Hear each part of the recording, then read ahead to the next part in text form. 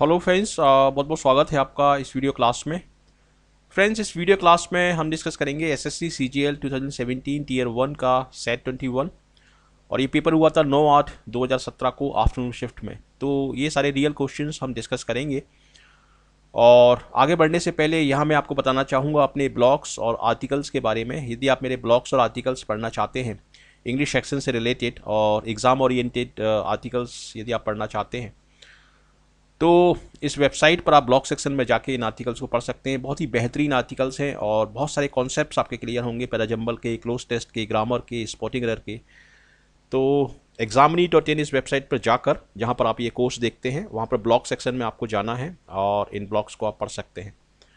तो चलिए देखते हैं इन क्वेश्चंस को। देखिए स्पॉटिंग का ये क्वेश्चन पूछा गया है। The C E only discussed the new venture with his manager तो इस सेंटेंस को यदि आप देखें ध्यान से तो इसमें कोई ग्रामेटिकल एरर नहीं है। यदि कोई भी ग्रामेटिकल पार्ट इसमें गलत नहीं है। केवल इसमें प्लेसमेंट से रिलेटेड एक एरर है। देखिए ओनली क्या होता है? ओनली एक एडवर्ब होता है और जिस वर्ड से पहले इसको हम लगाते हैं, उसको ये मॉडिफाई करता है, उसको ये चेंज करता है। अब यहाँ पर हम क्या बोल रहे हैं? The C E only discussed the new venture with his manager मतलब जो कंपनी का सीईओ था, उसने नए वेंचर को, नए, नया वेंचर मीन्स कोई भी नई प्लानिंग नई स्कीम नया प्रोग्राम उस नए वेंचर को, उसने मैनेजर के साथ डिस्कस किया। तो यहाँ पर हम क्या बोल रहे हैं? द सीईओ ओनली डिस्कस इसका मतलब यह है कि उसने केवल डिस्कस किया और कुछ नहीं किया। लेकिन यहाँ पर एक्चुअली सेंटेंस बोलना क्या चाह रहा है? सेंटेंस बोलना चाह रहा है कि the CEO discussed only the new venture CEO discussed only the new venture यानी ओनली यहाँ पर आना चाहिए आपका, ठीक है? तो इसमें ओनली डिस्कस्ड के स्थान पर आप लिखेंगे discussed only the CEO discussed only the new venture मतलब ओनली जिस वर्ड से आप पहले लगाएँगे, उस वर्ड को मॉडिफाई करेगा। लेकिन यहाँ पर ओनली को आपको इस वर्ड से पहले लगाना चाहिए न्यू वेंचर से पहले, क्योंकि यहाँ पर इसको हम स्ट्रेस कर रहे हैं। यदि आप यहाँ पर लगाएँगे इसको डिस्कस से पहले तो इसका मतलब होगा कि उसने केवल डिस्कस किया, उसने केवल डिस्कस किया, जिसका कोई सेंस नहीं निकलेगा। यहाँ पर सेंटेंस बोल रहा है, उसने डिस्कस किया नए वेंचर को। चूँकि ये वेंचर नया है, इसलिए इसको इम्प्लीमेंट करने से पहले इसको मैनेजर्स के साथ और दूसरे लोगों के साथ डिस्कस करना ज़रूरी है। तो इसलिए the CEO discussed only the new venture with his manager इस तरीके से ये बनेगा और ए इसमें आपका सही आंसर होगा। क्वेश्चन नंबर सेकेंड देखते हैं। If she was marrying Mr Gupta she would have been recognize as Mrs Gupta ये कंडीशन से रिलेटेड जो क्वेश्चन हैं, ये सारे एसएससी एग्ज़ाम में पूछे जाते हैं और एक या दो क्वेश्चन तो डेफिनेटली आता ही आता है। अब ये जो क्वेश्चन है, ये अनफुलफिल्ड कंडीशन से रिलेटेड है। अनफुलफिल्ड कंडीशन में दो पार्ट होते हैं, ठीक है? एक पार्ट होता है रिज़ल्ट पार्ट ये रिज़ल्ट पार्ट है। और एक पार्ट होता है कंडीशनल पार्ट जिसमें हम कोई शर्त को बताते हैं। यदि शर्त पूरी होती है तो काम पूरा होता है, यदि शर्त पूरी नहीं होती तो काम पूरा नहीं होता। तो ये अनफुलफिल्ड कंडीशन है। रिज़ल्ट इसमें इसलिए नहीं आता क्योंकि वहाँ पर शर्त पूरी नहीं हो पाती। इसको हम बोलते हैं अनफुलफिल्ड कंडीशन इंग्लिश में तीन कंडीशन होती हैं, ठीक है? एक होती है ओपन कंडीशन एक होती है इमेजनरी कंडीशन और एक होती है अनफुलफिल्ड कंडीशन तो इन तीनों ही कंडीशन के बारे में यदि आप पढ़ना चाहते हैं डिटेल में तो मेरा आ, मेरा कंडीशन से रिलेटेड एक एक वीडियो क्लास है उसको आप देख सकते हैं। उसमें लिखा होगा कंडीशनल वीडियो क्लास तो उसको आप देख सकते हैं। तो इसमें क्या होता है? इसमें आपका ये है आपका रिज़ल्ट पार्ट और ये है आपका कंडीशन पार्ट तो रिज़ल्ट पार्ट में हम वुड हैव शुड हैव या कुड हैव लगाते हैं और इसके साथ हम थर्ड फॉर्म लगाते हैं। Would have could have should have या थर्ड फॉर्म और कंडीशन वाले पार्ट में हम लगाते हैं हैड ठीक है? हैड के साथ थर्ड फॉर्म यहाँ पर हम लगाते हैं और यहाँ पर हम लगाते हैं वुड हैव के साथ थर्ड फॉर्म और यदि इसको आपको पैसे वॉइस करना है तो यहाँ पर हम बोलते हैं हैड बीन और यहाँ पर हम बोलते हैं वुड हैव बीन बीन और लगा देते हैं पैसे वॉइस में. ठीक है? तो वुड हैव बीन तो यहाँ पर सही है, लेकिन यहाँ पर वॉज़ नहीं आएगा. इस तरह के स्ट्रक्चर्स में वॉज़ हम नहीं लगाते, हम लगाते हैं हैड तो इसमें ए जो पार्ट है, ये गलत है. If she had married Mr Gupta she would have been recognized as Mrs Gupta यदि उसने मिस्टर गुप्ता से शादी कर ली कर ली होगी तो उसको जाना गया होता। यदि कर ली होती तो उसको जाना गया होता मिसेस गुप्ता के रूप में। तो यहाँ पर ए पार्ट जो है, ये गलत है आपका। ठीक है? तो क्वेश्चन नंबर टू का जो आंसर होगा, वो होगा ए यहाँ से शुरू होंगे फिलअप के question Ankita is disgusted the habit of her brother इस तरह के प्रपोजिशनल एरर से संबंधित क्वेश्चन पूछे जाते हैं एसएससी एग्ज़ाम में। डिस्गस्टेड के बाद देखिए, तीनों ही चीज़ें आ सकती हैं। एट भी आ सकता है विद भी आ सकता है बाय भी आ सकता है। विद हम लगाते हैं नॉर्मली पर्सन के लिए, जैसे disgusted with myself disgusted with yourself disgusted with him इस तरीके से पर्सन के साथ हम डिस्गस्टेड विद लगाते हैं। लेकिन कोई पर्टिकुलर ऑब्जेक्ट है या सिचुएशन है तो उसके लिए हम एट लगाते हैं, इसमें एट प्रेफर करते हैं। तो Ankita is disgusted at the habit of her brother disgusted का मतलब होता है किसी चीज़ से बहुत ज़्यादा डिसअपॉइंट होना या किसी चीज़ को बहुत ज़्यादा डिसलाइक करना. दैट इज़ कॉल्ड डिस्गस्टेड जैसे हम इंग्लिश में बोलते हैं हाउ डिस्गस्टिंग डिस्गस्टिंग मतलब जिस चीज़ को आप डिसअप्रूव कर रहे हैं डिसलाइक कर रहे हैं उसको पसंद नहीं कर रहे हैं उसको हम बोलते हैं डिस्गस्टेड तो इस सिचुएशन में इस पर्टिकुलर सिचुएशन में यहाँ पर एट कहना सही होगा. क्योंकि यहाँ पर आप बात कर रहे हैं आ, किसी चीज़ को डिसलाइक करने की या डिसअप्रूव करने की विद हम नॉर्मली पर्सन के साथ लगाते हैं। ठीक है? और डिस्कस्टेड विद हम उस सेंस में भी लगाते हैं जब जब आपने आपने एक डिसलाइक डेवलप कर लिया है अपने अंदर over the period of time बहुत लंबे समय से किसी चीज़ को आप देख रहे हैं और एक डिसलाइक आपके अंदर क्रिएट हो गया है। तो उस सेंस में भी हम डिस्गस्टेड लगाते हैं, लेकिन यहाँ पर हम एक हैबिट की बात कर रहे हैं, एक एक सिचुएशन की बात कर रहे हैं तो इसके लिए हम एट यहाँ पर लगाएँगे। Ankita is disgusted at the habit of her brother due to the security reason we were from entering into the cockpit of the plane entering के बाद वैसे इंटू नहीं आता है। जब हम एंटर करने के सेंस में इसको लिखते हैं। यहाँ पर आपको कौन सा वर्ड आप लगा सकते हैं? Due to the security reason we were from entering into the cockpit of the plane plane मतलब हवाई जहाज़ जो होता है, उसका एक कॉकपिट होता है, जहाँ पर सारे पायलट वगैरह बैठते हैं, उसको हम बोलते हैं कॉकपिट तो सिक्योरिटी रीजंस की वजह से हमें कॉकपिट में घुसने से मना कर दिया गया. तो इसमें क्या वर्ड आएगा? डिनाइड आएगा रिजेक्टेड आएगा स्टॉप्ड आएगा वॉर्न आएगा. वॉर्न का मतलब तो चेतावनी देना होता है तो ये तो यहाँ पर सेंसलेस है वॉर्न रिजेक्टेड यहाँ पर नहीं आएगा, क्योंकि जब कोई व्यक्ति किसी जगह घुसता है तो उसको हम रिजेक्ट नहीं करते हैं. तो रिजेक्ट तो बिल्कुल ही यहाँ पर सेंसलेस है वॉर्न बिल्कुल ही सेंसलेस है। डिनाइट के साथ हम फ्रॉम नहीं लगाते, हम फ्रॉम लगाते हैं स्टॉप के साथ प्रोहिबिट के साथ और प्रीवेंट के साथ। ठीक है? Prevent from doing something prohibit from doing something stop from doing something तो यहाँ पर सही जो आंसर होगा, वो होगा स्टॉप्ड ठीक है? डिनाइड वर्ड नहीं आएगा इसमें। Denied we were denied admission इस तरीके से तो आप बोल सकते हैं। ठीक है, लेकिन फ्रॉम के साथ चूँकि एक वर्ड कंबाइन करना है, इसलिए फ्रॉम के साथ यहाँ पर स्टॉप वर्ड सही रहेगा। ये सिनोनिम का क्वेश्चन है एग्जॉर्बिटेंट क्या होता है? एग्जॉर्बिटेंट का मतलब होता है बहुत ज़्यादा। प्राइसेस के रेफरेंस में इसको हम यूज़ करते हैं। जैसे एग्जॉर्बिटेंट प्राइसेस एग्जॉर्बिटेंट चार्जेस तो एग्जॉर्बिटेंट का सिनोनिम क्या होगा? एग्जॉर्बिटेंट का सिनोनिम यहाँ पर होगा हाई क्योंकि यहाँ पर हाई यहाँ पर जो ऑप्शन दिए हैं, उसमें से हाई इसमें सही रहेगा, ठीक है? रेयर मतलब बहुत कम डल मतलब जो ब्राइट नहीं है क्लियर तो इसमें सही जो आंसर होगा, वो होगा आपका हाई एग्जॉर्बिटेंट का।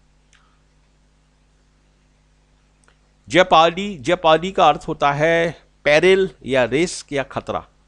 जेपार्डी एक नाउन है और जेपार्डाइज आपका वर्ब होगी जेपार्डाइज ठीक है? तो यहाँ पर इसका सही आंसर होगा रिस्क सीरीन का अर्थ होता है एकदम शांत। इंजर का मतलब दुर्घटनाग्रस्त हो जाना या लग जाना। तो यहाँ पे सीरीन इसका सही सॉरी रिस्क इसका सही आंसर होगा जयपाली का। यहाँ पर आपको एंटोनिम बताना है चर्लिस क्या होता है? चर्लिस होता है इल मैनर्ड व्यक्ति, जो इनडिसेंट है इल मैनर्ड है, जिसे सही तरीके से बिहेव करना नहीं आता, उसको हम बोलते हैं चर्लिश तो चर्लिस का एंटोनिम क्या होगा? चर्लिश का सिनोनिम तो अनकूथ होगा। अनकूथ फरबेंट का अर्थ होता है जो बहुत ज़्यादा पैशनेट है किसी चीज़ के बारे में, बहुत ज़्यादा उत्साही है। बी लिटिल करना, किसी को नीचा दिखाना, किसी की बेज्जती करना इंसल्ट करना that is called belittle तो चर्लिश का सही एंटोनिम होगा पोलाइट या कल्टियस यहाँ पर आपसे एंटोनिम पूछा जा रहा है। तो एंटोनिम यहाँ पर होगा कल्टियस चर्लिश का। फ्लैगमेटिक क्या है? फ्लैगमेटिक का मतलब जो इनडिफरेंट है, जो उदासीन है, जिसके अंदर कोई इमोशंस नहीं है, उसको हम बोलेंगे फ्लैगमेटिक तो फ्लैगमेटिक का सिनोनिम होगा इनडिफरेंट लेकिन इसका एंटोनिम आपको पता करना है। एंटोनिम होगा इसका आर्डेंट क्योंकि आर्डेंट का मतलब होता है उत्साही, जो एक्साइटेड है, ठीक है? आर्डेंट आर्डेंट रीडर हम बोलते हैं आर्डेंट रीडर जो रीडिंग के बारे में बहुत ज़्यादा एक्साइटेड है, उत्साही है। मर्सीलेस मतलब जिसके अंदर मर्सी नहीं है, जिसके अंदर दया नहीं है। प्रोहिबिट मतलब रोकना इनडिफरेंट मतलब उदासीन ठीक है? तो फ्लैगमेटिक का एंटोनिम होगा आर्डेंट आर्डेंट फ़ैन भी होता है आर्डेंट रीडर भी होता है। ठीक है? इडियम फ्रेजेस का ये सेक्शन है डैम्प स्क्विप डैम्प का मतलब क्या है? डैम्प का मतलब होता है किसी चीज़ को, कोई, किसी चीज़ को गीला करना। जो भीगा हुआ पात होता है, उसको हम बोलते हैं डैम्प डैम्प लैंड भी होती है। स्क्विप मतलब कोई भी कपड़ा या कोई भी ऐसी चीज़ जिसमें, जैसे स्पंज होता है, जिसमें पानी को हम भिगो देते हैं। तो यदि आप डैम्प स्क्विप को, सपोज़ कहीं पर आग जल रही है उस आग के ऊपर डाल देते हैं तो क्या उसका रिज़ल्ट होगा? वो आग पूरी तरीके से ख़त्म हो जाएगी। तो डैम्प स्क्विब का मतलब होता है कंप्लीट फेलियर किसी भी चीज़ में कंप्लीट फेलियर इसको हम बोलेंगे डैम्प स्क्विप ये इसका आंसर होगा। स्क्वेंडर का क्या अर्थ है? स्क्वेंडर का अर्थ है वेस्ट करना। किसी चीज़ को टाइम या पैसे को वेस्ट करना पर्टिकुलरली पैसे को। तो डैम्प स्क्विब का सिनोनिम होगा complete failure rise like a phoenix phoenix actually एक एक एक चिड़िया का नाम है, एक बर्ड होती है, जो कि जिसको यदि मार दिया जाए तो वो अपनी, ऐसा माना जाता है माइथोलॉजिकल स्टोरीज में कि अपनी एसिस से ये पैदा हो जाती है, अपनी राख से ये फिर से पैदा हो जाती है फिनिक्स तो इसका मतलब क्या है? राइज लाइक ए फिनिक्स का होगा टू बिकम सक्सेसफुल अगेन एक बार फेल हो जाने के बाद, फिर से सक्सेसफुल हो जाना, उसको हम बोलेंगे राइज लाइक आ फिनिक्स ये है सेंटेंस इंप्रूवमेंट के क्वेश्चन और ये वर्ड रिलेटेड क्वेश्चन है। इसमें एक वर्ड या एक वर्ड फ्रेज दिया रहता है ब्रैकेट में और उसको आपको इम्प्रूव करना होता है। उसके लिए आपको एग्जैक्ट और मोस्ट अप्रोप्रिएट चॉइस आपको ढूंढना होती है। ठीक है? The mobile phones have made digital cameras are later superfluous in today's world सबसे पहले सेंटेंस का मतलब हम जानेंगे। इन सेंटेंस का मतलब क्या है? इस सेंटेंस का मतलब ये है कि मोबाइल फ़ोन ने डिजिटल कैमरा को सुपरफ्लूअस कर दिया है। क्योंकि डिजिटल कैमरा जो होता है वो मोबाइल फ़ोन में ही होता है। तो इसलिए डिजिटल कैमरा की वैल्यू अब कम हो गई है। तो सुपरफ्लूअस का क्या मतलब है? सुपरफ्लूअस का मतलब होता है जो चीज़ एक्स्ट्रा है या नीडलेस है या जिसकी ज़रूरत नहीं है। जैसे सपोज़ आपको एक ऐसे लिखना है, सौ वर्ड्स में एक ऐसे लिखना है और आपने लिख दिया 150 या 250 एक्स्ट्रा वर्ड्स डाल दिए जिसकी ज़रूरत नहीं है। तो उसको हम बोलेंगे सुपरफ्लूअस इसको हम रिडेंडेंट भी बोलते हैं। रिडेंडेंट मतलब नीडलेस ये जो रिडेंडेंट वर्ड दिया है, इसका मतलब भी होता है जो, जिसकी ज़रूरत नहीं है, जो नीडलेस है। लेकिन सुपरफ्लूअस और रिडेंडेंट ये हम राइटिंग में यूज़ करते हैं। इस सेंस में हम यूज़ नहीं करते। एक्सटिंक्ट को हम एनिमल के रेफरेंस में यूज़ करते हैं कि ये पर्टिकुलर एनिमल एक्सटिंक्ट हो गया है। रिडेंडेंट को भी हम उस सेंस में यूज़ नहीं करते। तो यहाँ पर सही वर्ड होगा ऑप्सोलीट ऑप्सोलीट का मतलब होता है आउटडेटेड और ये कहना सही है कि डिजिटल कैमरा जो है वो आउटडेटेड हो गए हैं, क्योंकि मोबाइल फ़ोन में डिजिटल कैमरा और उससे भी अच्छी अच्छी फैसिलिटी उसमें आपको मिलती हैं। तो ऑप्सोलीट यहाँ पर इसका सुपरफ्लूस के स्थान पर इसमें ऑप्सोलीट कहना सही होगा। ठीक है?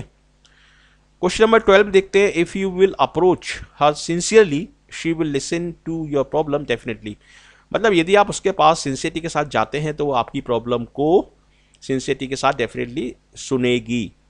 यदि आप जाएँगे तो वो सुनेगी, यानी दो इसमें फ्यूचर एक्टिविटीज़ की बात हो रही है।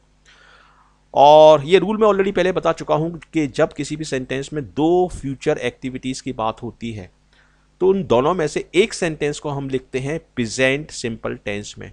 किस सेंटेंस में हम प्रेजेंट सिंपल टेंस का यूज़ करते हैं? ऐसा कोई भी सेंटेंस जिसमें जो इफ़ से स्टार्ट हो, या अनलेस से स्टार्ट हो अनटिल से स्टार्ट हो वेन से स्टार्ट हो एज लॉन्ग एज से स्टार्ट हो इन कंडीशनल वर्ड से या इन कनेक्टर से जो जो सेंटेंस स्टार्ट होगा, उसको हम लिखेंगे प्रेजेंट सिंपल टेंस में।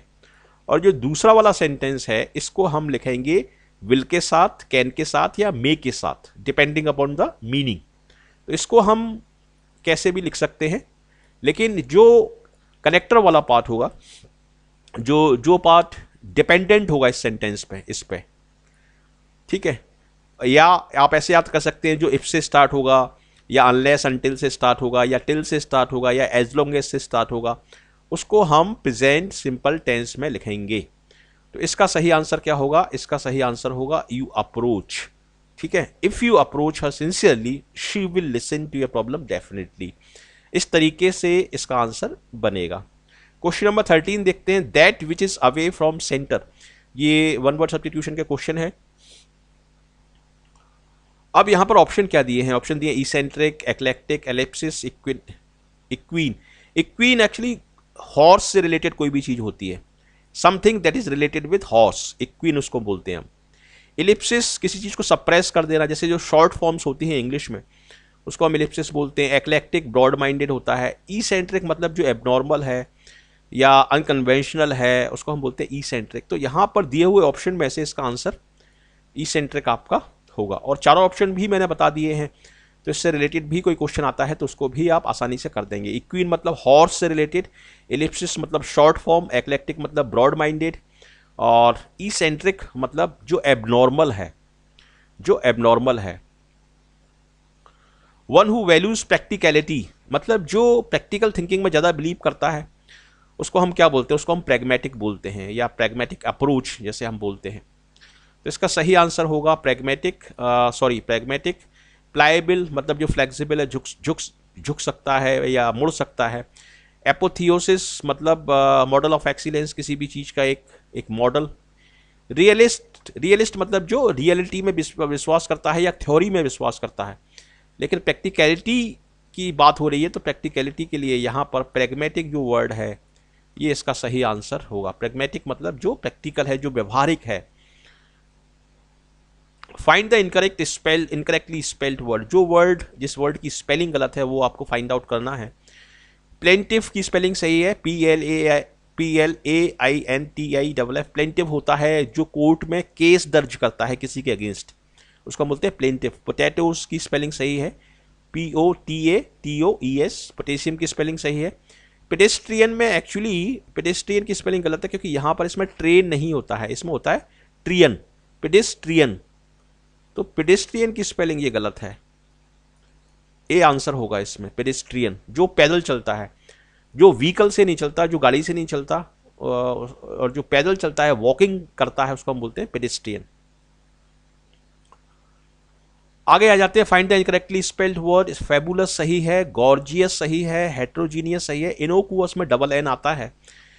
इनोकुअस में डबल एन आता है, और इनोकुअस का मतलब होता है हार्मलेस जिससे कोई नुकसान आपको नहीं होगा, उसको हम बोलते हैं इनोकुअस और इसका सिनोनिम होगा डेट्रीमेंटल क्योंकि डेट्रीमेंटल का मतलब होता है हार्मफुल ठीक है? फेबुलस का मतलब शानदार गॉर्जियस का मतलब अट्रैक्टिव हेट्रोजीनियस मतलब जिसमें अलग अलग एलिमेंट्स हों, जो एक जैसे एलिमेंट ना हो अलग अलग एलिमेंट्स हों। तो इनोकुअस में चूँकि डबल एन आता है, इसलिए इनोकुअस यहाँ पर आपका सही आंसर होगा। ये है आपके पैराजम्बल के क्वेश्चन और पैराजम्बल के क्वेश्चन कभी कभी particularly C G L T में काफ़ी टफ क्वेश्चन पूछे जाते हैं और आपको अंदाज़ा नहीं लगता कि कहाँ से इसको शुरू करें, कहाँ पर ख़त्म करें। तो पैराजम्बल में सिंपल आपको लॉजिक अप्लाई करना है, आपको पूरा सेंटेंस ये ज़रूर, ज़रूरी नहीं है कि पूरा सेंटेंस आप पढ़ें। सारे वर्ड मीनिंग्स आपको पता हो, ये ज़रूरी नहीं है, केवल सिंपल लॉजिक आपको अप्लाई करना है। और मैं आपको बताता हूँ किस तरीके से इसके कुछ बेसिक फंडामेंटल्स होते हैं। और पैराजम्बल के बारे में मैंने एक ब्लॉग भी लिखा है एग्जामिनी डॉट इन पर, उस ब्लॉग को भी आप ज़रूर पढ़ें उसमें मैंने ट्रिक्स बताई हैं पैराजम्बल को सॉल्व करने की तो उस ब्लॉग को आप ज़रूर ज़रूर पढ़ें और उससे आपको फ़ायदा होगा कॉन्सेप्ट क्लियर होंगे। देखिए पैराजम्बल में क्या होता है कि आपको मैंडेटरी पेयर होते हैं, जैसे ए के साथ सी जा रहा है। अब ए के साथ सी क्यों जा रहा है? क्योंकि हो सकता है उसमें कुछ लिंक्स हों, उसमें कुछ कॉमन रेफरेंस पॉइंट हों ठीक है तो इस तरीके से यदि आप दो मैंडेटरी पेयर बना लेते हैं तो आप पैराजम्बल को विद इन सेकेंड्स कर सकते हैं। जैसे यहाँ पर आप आप इसमें देखिए।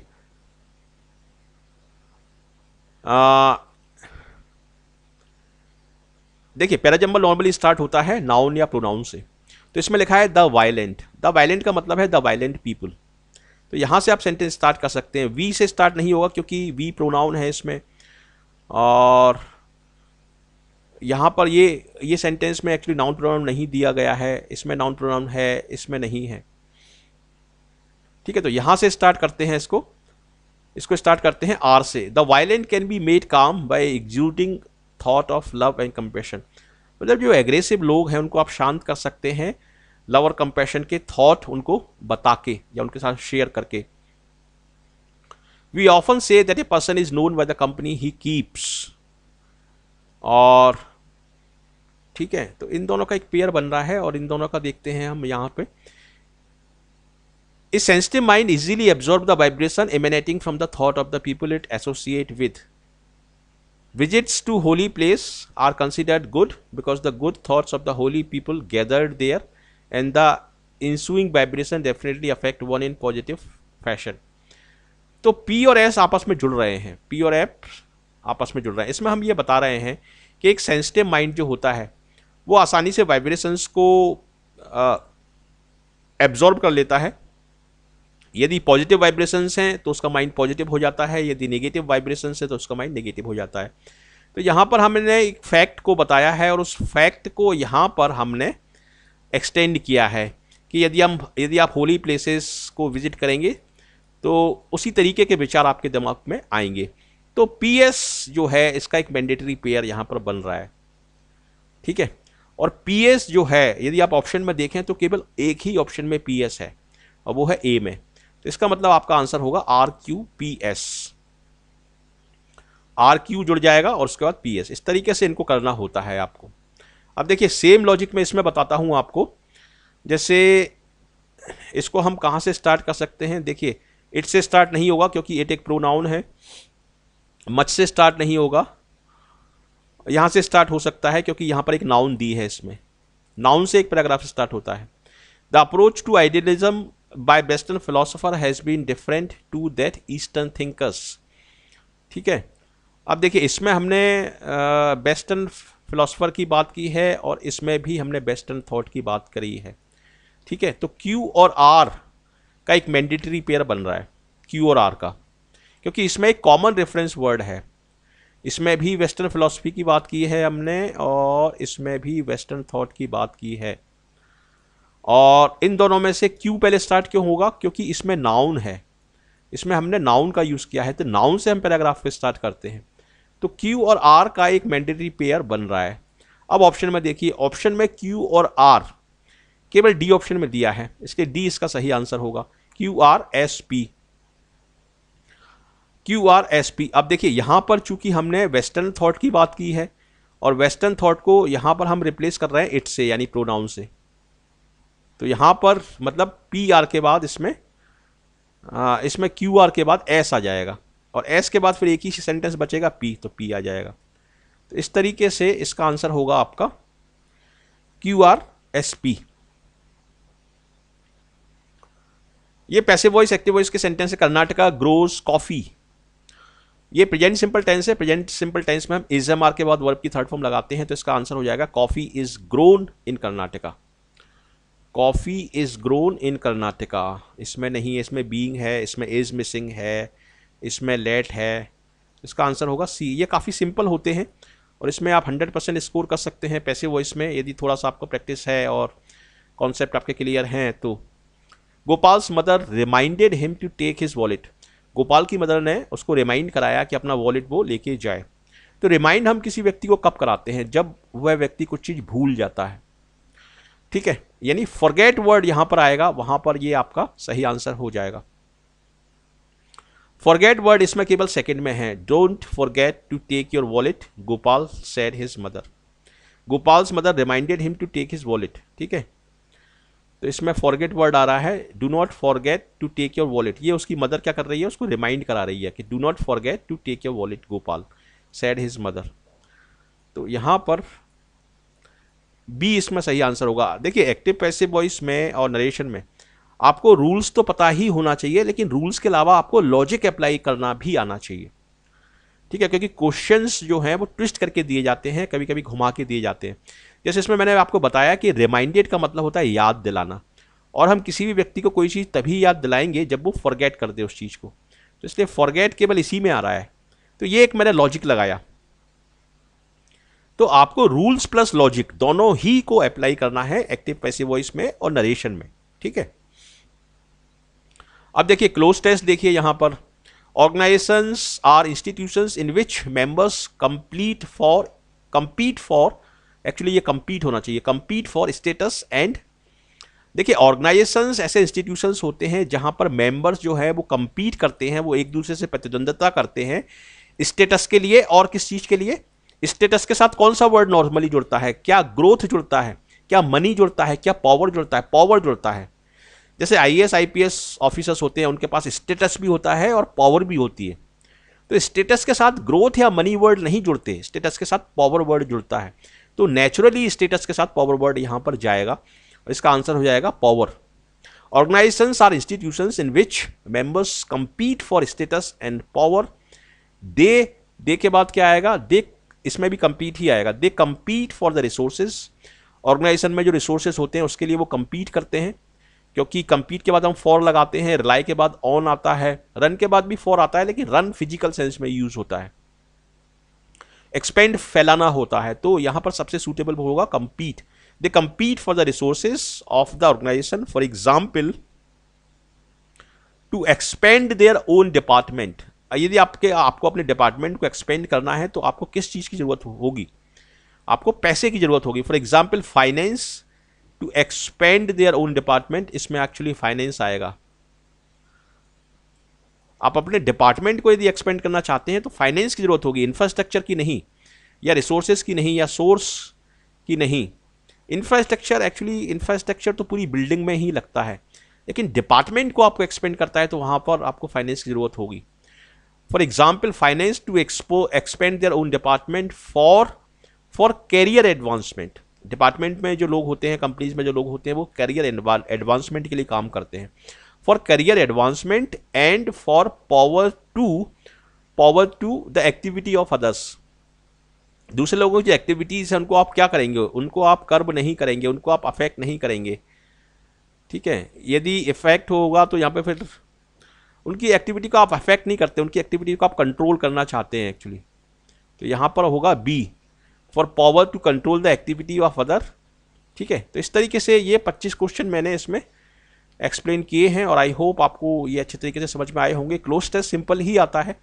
सिंपल रीडिंग से आप आसानी से क्लोज टेस्ट तो कर सकते हैं। आपको आपको पता पड़ जाएगा कि कहाँ पर कौन सा वर्ड आना चाहिए।